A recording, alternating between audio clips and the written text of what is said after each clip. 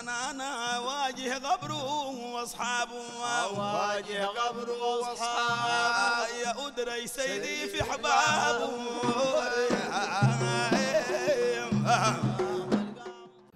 بسم الله والحمد لله وصلاة ربي وسلامه على سيدنا رسول الله وعلى آله وصحبه ومن والاه. أحباب الحبيب صلى الله عليه وسلم والمشاهد الكريم. السلام عليكم ورحمة الله وبركاته وأهلا ومرحبا بكم في بيت القصيد. ونتكلم الليلة عن توثيق المديح.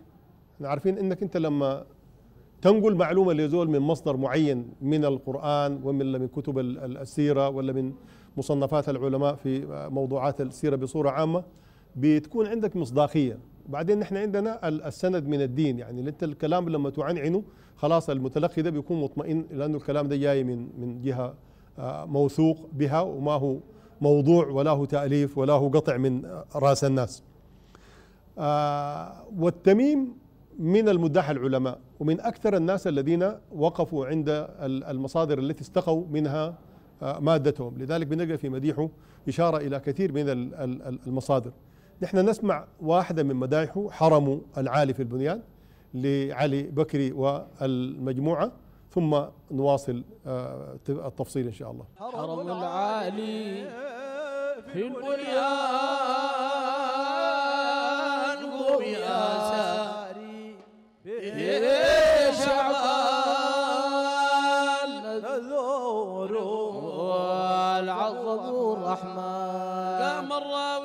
انتخب غلمان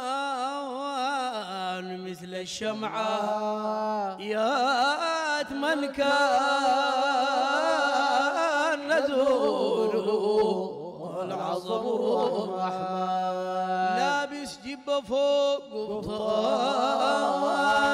وماسك بيده. طبل الزان نزوره العظم الرحمن حرم العالي في البنيان قوم يا ساري في شعبان.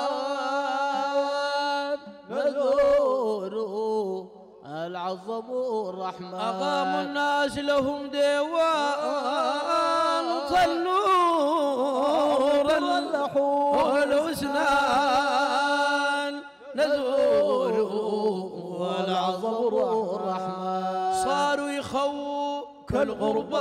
كالغربان بكوا وهبلوا العشقان نزوره العظم الرحمن. حرم العالي بنيان يا ساري في شعبان. نزور لا اسمعوا فضلة الأولاد اسمعوا فضلة الأولاد قد غال الرسول نزور العظم الرحمن. يكرم بالفراش والزاد يكرم بالفراش والزاد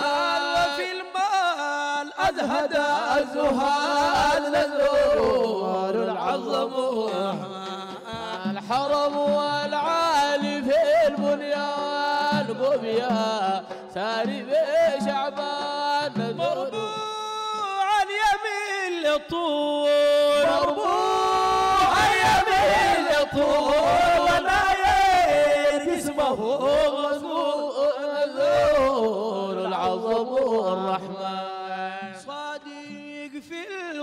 الوعد والقول صادق في الوعد والقول في الله دائما مشغول نزور العظم الرحمن الحرم العالي في البنيان قم يا ساري في شعبان. هاك شيء من معاقد الخير هاك شيء من معاقد الخير. الطير نذور العظم الرحمن. حبسه الشمس يوم العيد. حبس الشمس يوم العيد. الحكاه عمير. نذور العظم. الحرم والعالي في البنيان. قم يا ساري في شعبان. بيد وعاوسي دخنو أبغى البيل جزام مفسوخ نزور العظم الرحمن. أيضا ثم عاد يشيوخ أيضا ثم عاد يشيوخ عاد الفي القدر مطبوخ نزور العظم الحرم العالي في البنيان. قم يا ساري في شعبان نزور العظم الرحمن. يا الكرار وابن حسين. الكرار وابن حسين. بيت فنوش سنين نزور العظم الرحمن. شهدوا يتكلم الحاضرين. شهدوا يتكلموا الحاضرين. يتكلموا الحاضرين شق القمر نصفين نزور عظم حرم العالي في البنيان. قم يا ساري في شعبان. إلى حلي بروق النور لا حلي بروق النوم مع المقلتين قدوا العظم الرحمن لمتين فوق يمال الحور لم تنفعنا الحوت. لمتين نحدى نوق الحور لم تنحدى نوق نحوت شايف المساء والضوء نور العظم. حرم العالي في البنيان قم يا سا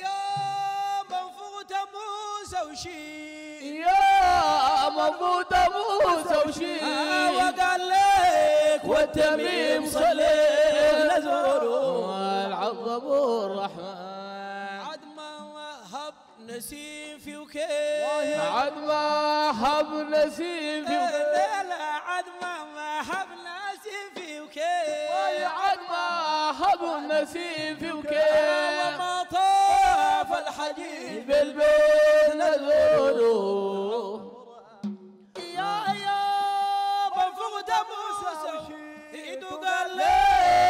لك والتميم صليت نزوره وعظم الرحمن. عد ما هب نسيم في وكيف عد ما نسيم في وكيف وما طاف الحديد بالبيت نزوره حرم العالي في البنيان. قم يا ساري في شعبان. نزوره العظم بيت القصيد في في في في هذه المدحة الجميلة التي استمعتم إليها بهذا الأداء الطيب من علي بكري ومجموعته. قال مربوعا يميل للطول داير جسمه منقول. طبعا يا إخوان إحنا ما قاعدين نلتزم هنا بالضبط. آه الكلام كلام عامي. فيقول مربوعا يميل للطول وناير جسمه منقول. ال- الشاهد عندي في كلمة منقول. يعني هذه الصفة التي ذكرها المادح هي منقولة. من كتب ال- ال- ال- السيرة التي اعتمد عليها. بعدين أحيانا الراوي يعني مش يجيب لنا المصدر حقه. يعني مرات بي- بي- بي- بي- بيشهينا ويرغبنا ويذكر لنا حالة ال- المؤدين لما يتفاعلون مع هذا ال- المديح زي ما شفتوها قبل شوية. الجماعة دي بيتفاعلوا في المديح والتميم فعلا ذكر حكاية التفاعل دي لما قال آه، الراوي انتخب غلمان مثل الشمعة. يات من كان وقفتهم كده وقفة عديلة. أقاموا الناس لهم ديوان وطنوا يترنحوا. الاثنان إذا كانوا اثنين ولا كان ثلاثة صاروا يخووا كالغربان بكوا وهبلوا العشقان. يعني الحركة حقتهم لما هم يجوا يؤدوا ال- ال- ال- المديح.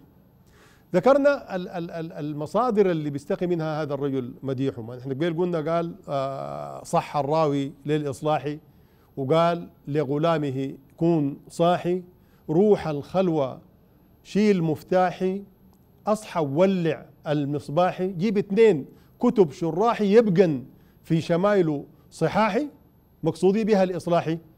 لامداحي أو مص- مقصودي بها الاصلاح يا تلميذي للامداحي فشوف أرسلوا الخلوة عشان يجيب له كتب من كتب صحاح ال- ال- ال- السيره عشان يصلح بها أمداحه والإصلاح يعني هو تغذية ال- المدح بجزء من مفردات ال- أيضا في واحدة من مداحه يقول آيات نافية لاعتراض ملا كتب منها الشيخ عياض. الشيخ عياض هو معروف صاحب الشفاء بتعريف حقوق المصطفى صلى الله عليه وسلم فهو مصدر مهم من مصادر التي اعتمد عليها آه، هذا المادح وغيره من ال- ال- المادحين. يقول فوق المدايح بأوصافه مشحونات كتبا صحايح. نحن بنقول المدايح في الحبيب صلى الله عليه وسلم والكتب مشحونة بصفته صلى الله عليه وسلم. في الكتب طرا يا المليح بل أنت مذكور بالمديح. والتميم دائما يشير إما إلى الكتب ولا يسميها زي ما سمينا قبل شوية كتاب ال- القاضي عياض. مرات هم يعتمدون على كتب السيرة بل يعتمدون على الكتب التي اعتمدت على كتب السيرة. نحن عندنا ناس ألفوا الم- الموالد منها من الموالد المشهورة مولد مثلا البرازنجي ولا مولد ال- ال- السيد الختم ولا مولد الشريف يوسف الهندي أو غيره. يجعلونها مصادر لأنه تلك ال- ال- ال- ال- ال- الموالد اعتمدت على مصادر السنة الأساسية واستقت المعلومات من هذه المصادر. فلذلك يجعلونها مصدر معتمد على آه، مصدر. فبقول كل حول نضبح كرامة ونقرأ فيه شرف الأنامة. شرف الأنامة ده مولد معروف للشريف العيدروس أحد أشراف آه، اليمن. آه، يعني هو من الرجل ذكروا هناك ود عبد الملك ناس عيدروس عدن في أباري آه، سرمدا فهو معروف بالنسبة لهم. فده من من ثقافة المادحين إنهم بيرجعوا للقرآن يرجعوا للسنة يرجعوا للكتب التي ألفت في ذلك يرجعون حتى للموالد المستقاة من هذه الكتب ويعتمدون عليها زي ما بقابلنا في في بعض الحلقات. نشوف طه القبر شرق الباك لشيخ حياتي وشرف والمجموعة.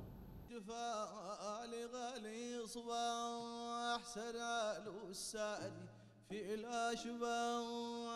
طه الغبر شرق الباح حميد سرفال غلي صباح سرال الساري في الأشباح. وقف ذو العيب والإجناح ببابك يا يا مهيمن سلال الساري في الأشباح.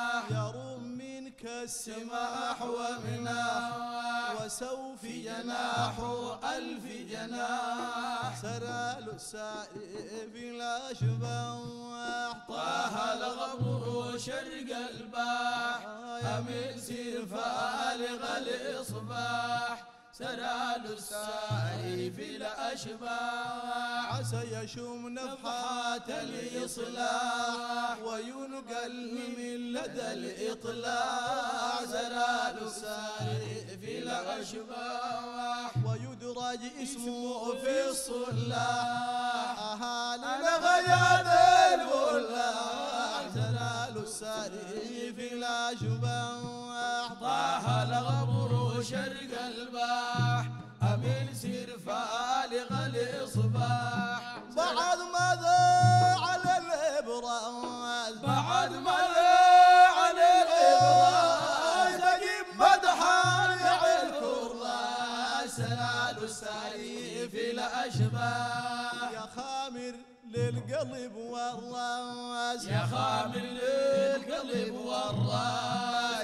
وينسي العاشقين على سلال الساري في الأشباح طه الغبر شرق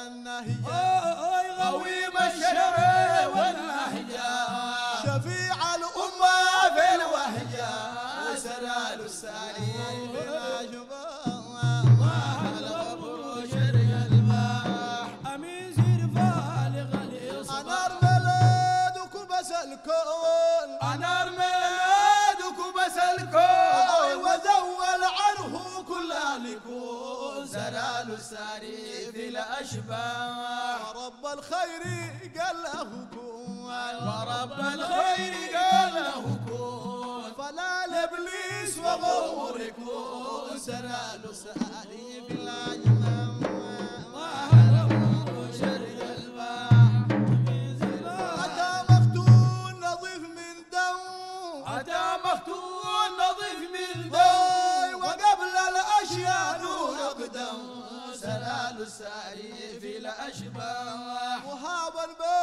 نصور مخدم مهابا بين نصور آه، مخدم. يا مهابا بين نصور مخدم.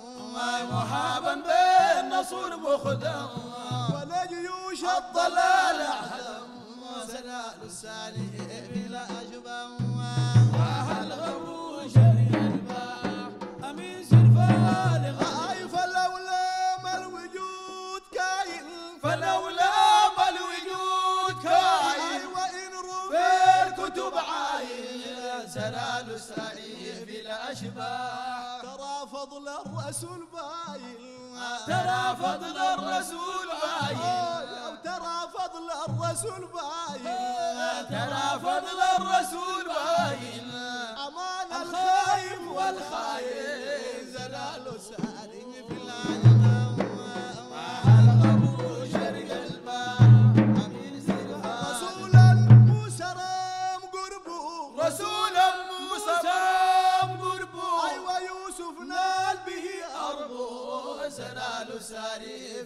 الأشباح إسماعيل غاز كربو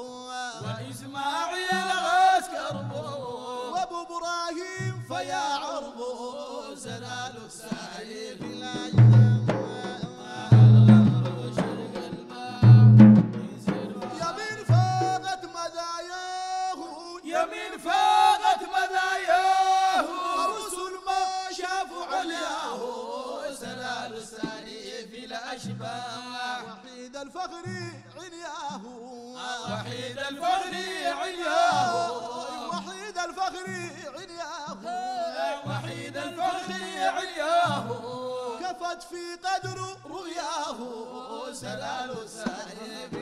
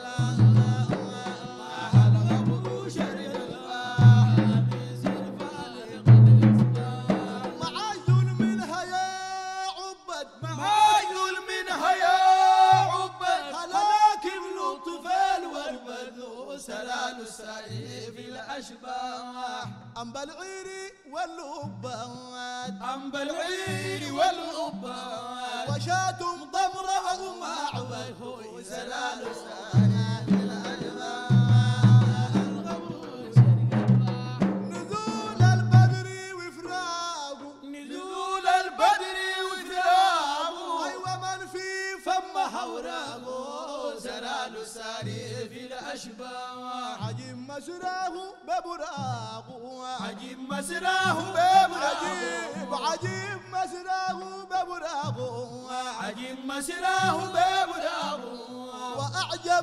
لها إخرام سلال الساري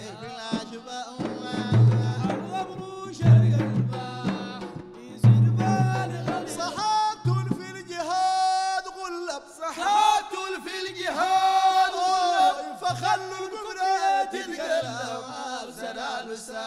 في الأشباح. بما هم في الأرض يلبون بما هم في الأرض يلبون وجه الصقور تلبه زلال سائر الأجباء ما أربو جريان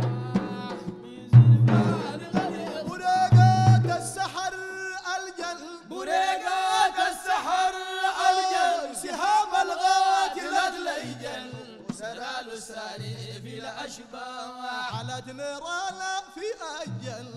على نيرانا في أجل. على نيرانا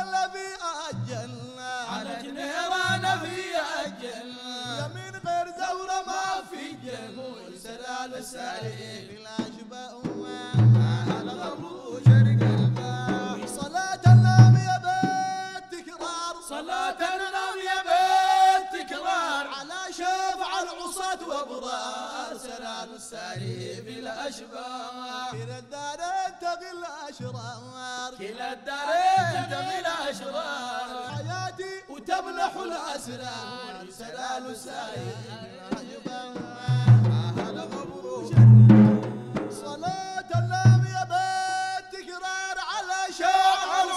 وابرار سلال السالي في الأشباح. كلا الدار تغي الأشرار. كلا الدارين تغي الأشرار. حياتي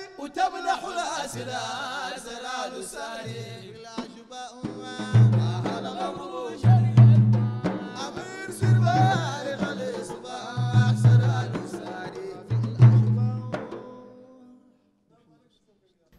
سمعت المدح يقول فيها فلولا ما الوجود كائن؟ إذا رم في الكتب عين. ترى فضل الرسول باين؟ أمان الخائف الخائن. فترى لما قال إذا رم في الكتب عين يعني إذا رمت إذا بغيت إذا أردت انظر في الكتب تجد فيها أو تجد فيها فضل الرسول صلى الله عليه وسلم باين.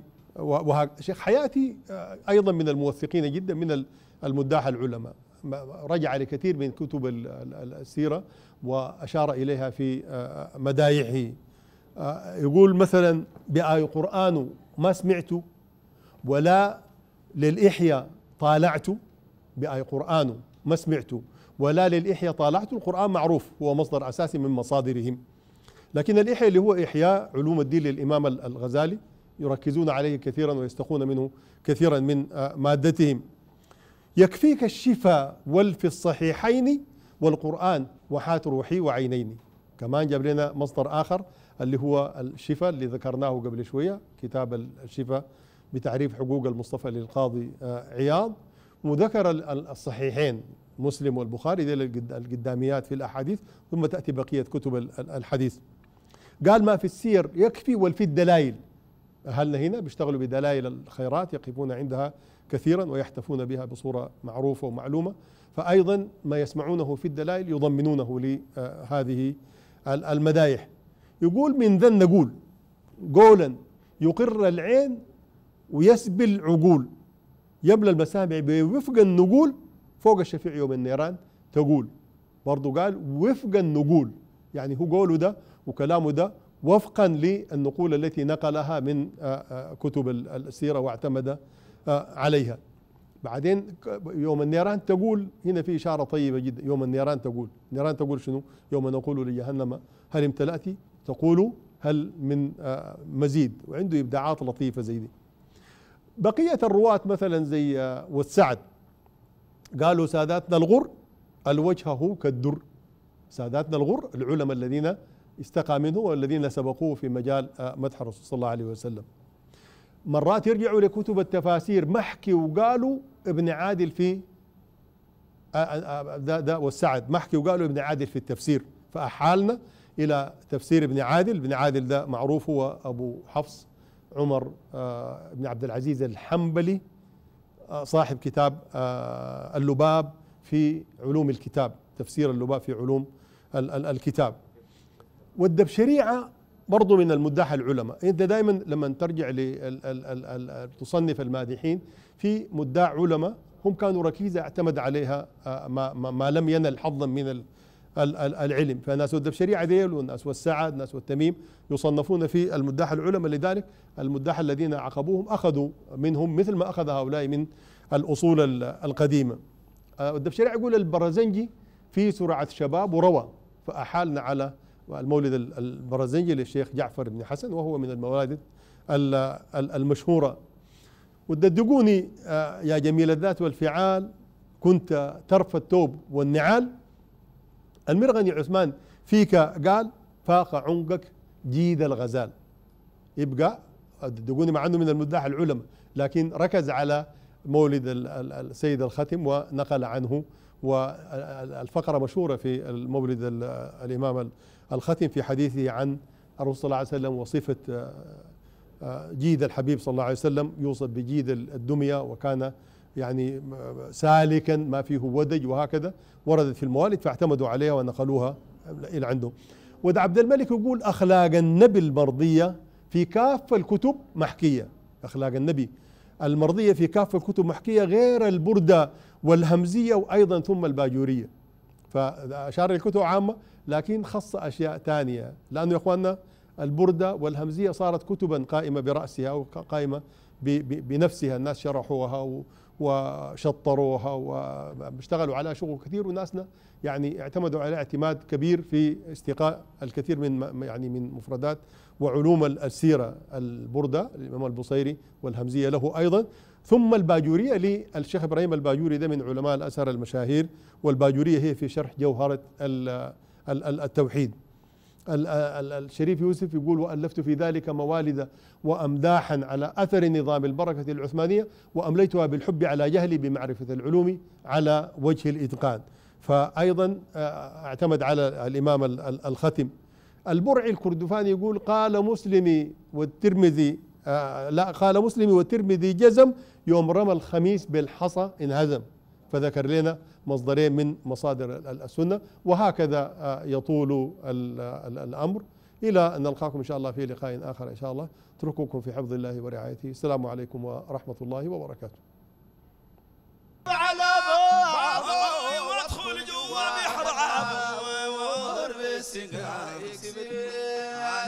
أنا واجه واصحابه واجه قبره واصحابه يا أدري سيدي في حبابه